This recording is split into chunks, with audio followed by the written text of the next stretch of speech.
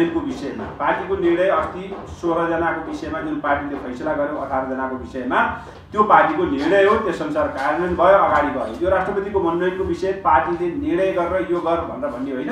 पार्टीले सुझाव दिन सक्छ पार्टीले सुझाव दिएको छ।